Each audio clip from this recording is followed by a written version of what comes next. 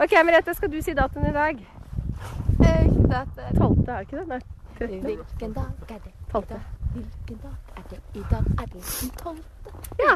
Er det den tolvte? ja. Eller er det 13.? Det er 13 i dag. Det Kan du ta Det er, eh, 13 nå? Oi, ikke ha fått meg, ikke ha fått meg.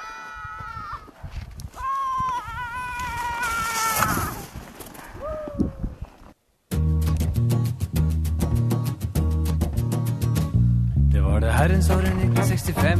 Det var så bratt at det var vondt å spise speilegg. Og juleposten den kom aldri frem før nyttårsaften 1965. Det var det året det var så bratt.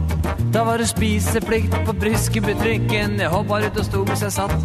Og spiste fårikål og snurla mens jeg datt. Ja, spiste fårikål og snurla mens jeg datt. Her var det mørkt som blinde mer av stanga øye lysbryteren. Ja, det hører vel det du som er stum, sa mannen og spytta merra i bakøret mens nissen ikke sto på Østbanemål og gåsegg. For det er kaldere om vinteren enn på øra. Det er sikkert noe alle vet fra før av, men hakespett er noe man ikke dør av, og det er lengre til London enn med fly. Det var det året det var så bratt.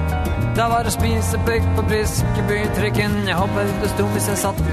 Han spiste fårikål og snøvla mens jeg datt. Løp, spiste fårikål og snøvla mens jeg datt.